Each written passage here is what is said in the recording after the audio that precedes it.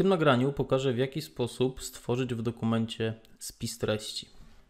Żeby zrobić dobry spis treści automatyczny, należy przede wszystkim pamiętać, że musimy w dokumencie oznaczyć te teksty, które w tym spisie treści mają się znaleźć.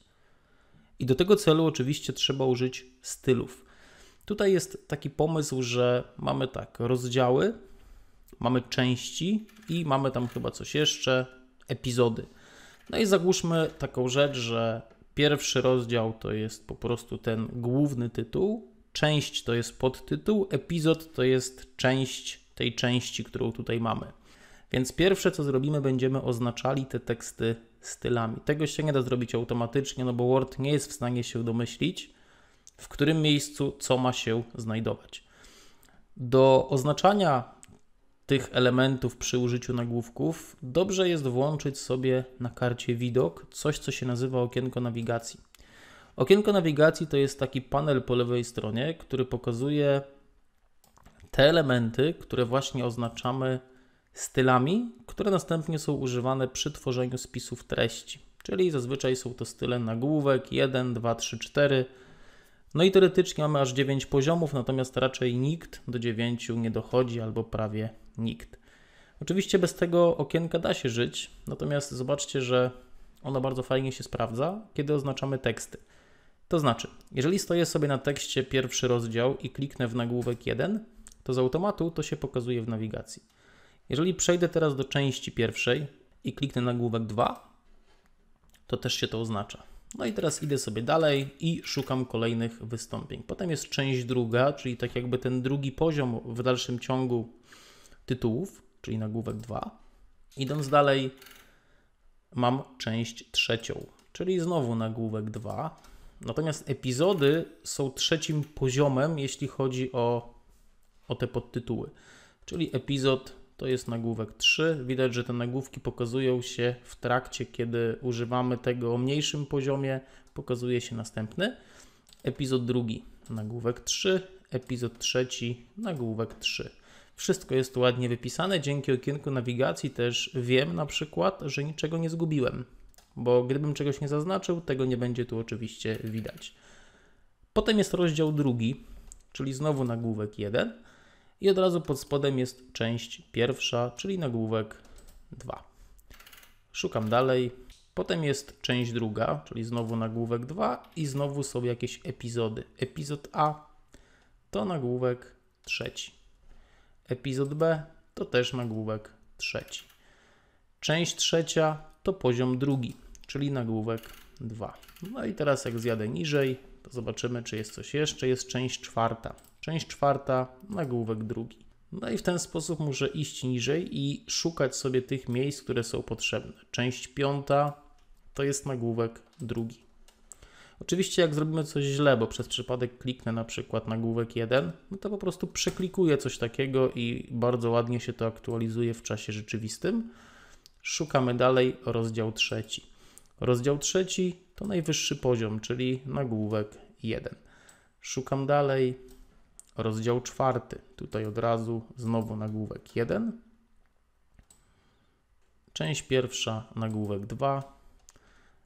No więc takie oznaczanie, jak widać w dokumencie, no jest raczej czynnością taką nudną, żmudną. Więc jeżeli chcemy tego ewentualnie uniknąć, no to trzeba by od razu sobie takie oznaczenia robić na etapie tworzenia dokumentu. Jeżeli tego nie zrobimy, no to czeka nas potem takie chodzenie po dokumencie i oznaczanie wszystkich miejsc w taki sposób, żeby potem stworzyło to pewną całość. No i ja zrobiłem już wszystkie oznaczenia i tak naprawdę, kiedy jest to oznaczone, to w zasadzie jest już po wszystkim, bo wystarczy teraz wstawić do dokumentu dokładnie te elementy, które obecnie widzimy w panelu nawigacji. Gdzie to wstawiamy, jest to kwestia naszego wyboru. Ja wstawię to na oddzielnej stronie, czyli kliknę sobie tutaj pierwszy rozdział, następnie wstawianie i wstawię pustą stronę. Pusta strona tutaj. Jak widać, wstawienie pustej strony spowodowało, że ten znak tutaj jest pisany w dalszym ciągu w stylu nagłówek 1. No więc zmienię go w normalny, no bo przed podziałem strony ja nie chcę mieć kolejnego elementu, tym razem pustego, który będzie również brany pod uwagę w spisie treści.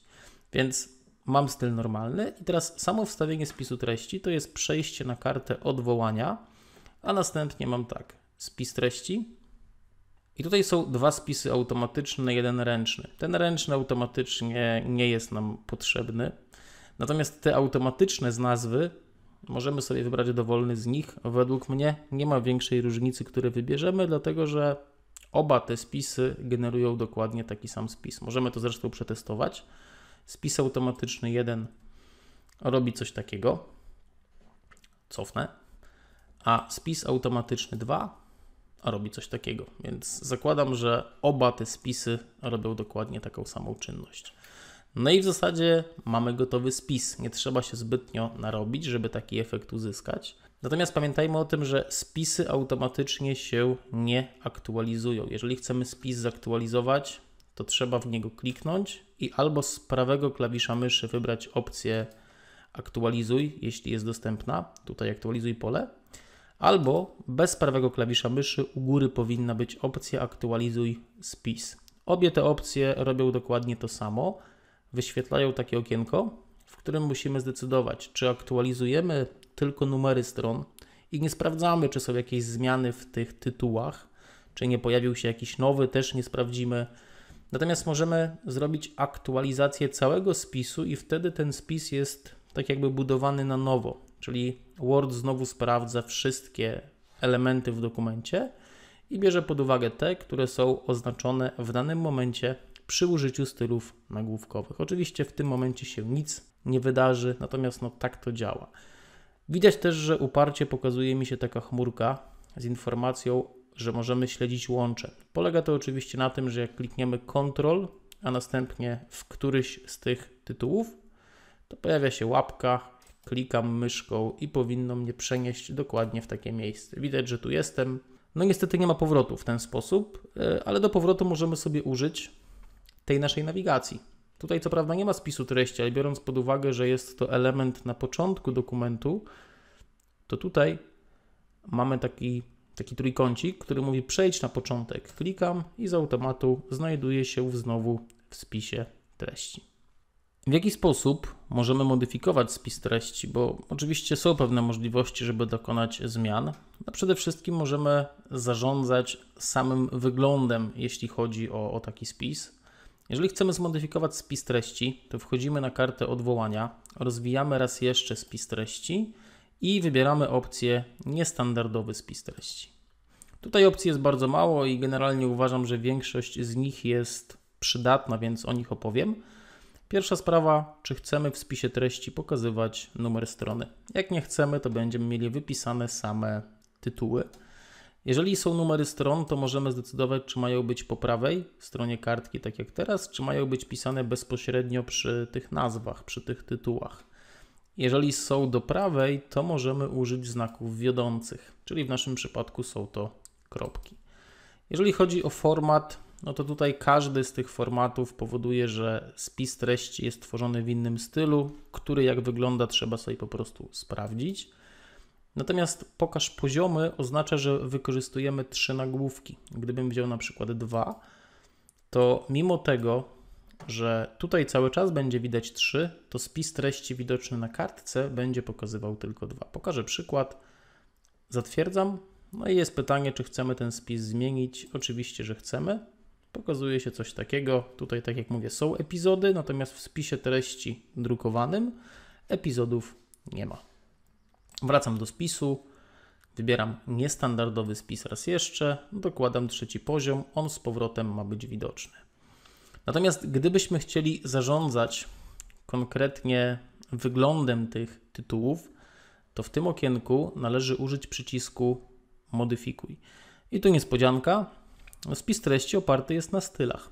Czyli jeżeli coś zostało oznaczone stylem nagłówek 1 i jest teraz głównym rozdziałem, to znaczy, że w spisie treści styl, który odpowiada za wyświetlanie tego rozdziału, to jest spis treści 1. Chcemy go zmienić? Wystarczy zrobić modyfikuj. Natomiast w tym momencie jest to już zwykła modyfikacja stylu. Ja na przykład sprawię, żeby główny rozdział był pisany czcionką trochę większą, pogrubioną i jeszcze bym chciał, żeby to było pisane literami wielkimi, czyli w opcji formatuj czcionka wybiorę sobie wszystkie wersaliki. Zatwierdzam raz. Oczywiście tutaj mogę w ten sposób modyfikować każdy kolejny poziom oddzielnie. Nic nie stoi na przeszkodzie, żeby, żeby wykonywać te elementy. W tym stylu oczywiście już więcej nic nie robię. Tutaj, tak jak mówię, każdy poziom możemy sobie zmodyfikować według własnego uznania. Mi wystarczy ten jeden przykład. Zatwierdzam. No i widać, że tak to będzie wyglądało. Zatwierdzam jeszcze raz. No i spis treści, jak widać, aktualizuje się zgodnie z ustawieniami, które sam wprowadziłem. Jeżeli chodzi o modyfikacje w spisie, to jest jeszcze jedna istotna opcja. Według mnie może być szczególnie przydatna wtedy, gdy korzystamy na przykład z Worda po zmianie języka. Załóżmy domyślnie jest to Word polski, zmieniamy potem język na, na angielski i może być taki problem, że jak zbudowaliśmy sobie dokument oparty na stylu nagłówek 1, 2, 3, 4, to te nazwy Word będzie trzymał w dalszym ciągu i próbował z nich budować spis treści. Natomiast w angielskiej wersji zrobi się z tego nagle styl o nazwie heading i niestety spis treści wtedy już się nie chce stworzyć. Dlatego też możemy zrobić coś takiego właśnie, że w tych odwołaniach, w spisie treści, w niestandardowym spisie jest też opcje. I tutaj możemy sobie wejść i po prostu określić, z których stylów ma być ten niestandardowy spis treści budowany. Jak widać, no standardowo jest tak, że nagłówek pierwszy jest najważniejszy, nagłówek drugi jest mniej ważny, nagłówek trzeci jest jeszcze mniej ważny. Jak widać, pozostałe nie są używane, są po prostu puste. Natomiast gdyby ktoś chciał, tak jak powiedziałem, zbudować spis treści ze stylów o innych nazwach, to po prostu można sobie dopisać. Zamiast na przykład tej jedynki przy nagłówku 1 wpisać tą jedynkę przy stylu o innej nazwie. To akurat nie mam takiego przykładu, ale jest to jakiś pomysł, żeby, żeby ewentualnie ten spis zrobić według własnego pomysłu. Zatwierdzę, może anuluję, bo skasowałem tą jedynkę. Tutaj też mogę anulować, w zasadzie niczego nie zmieniłem. No i mamy spis treści. Ten spis treści, tak jak powiedziałem, wymaga niestety aktualizacji za każdym razem. I proszę pamiętać, że to po lewej aktualizuje się od ręki. Przykładowo, gdybym wszedł w drugi rozdział i coś dopisał tutaj A, B, C, no to to jest od ręki zrobione. Natomiast w tym wypadku, jak widać, rozdział drugi pozostał bez tego ABC. Należy kliknąć w opcję aktualizuj spis, następnie aktualizacja całego spisu, zatwierdzić i ten napis ABC powinien się w tym miejscu pokazać.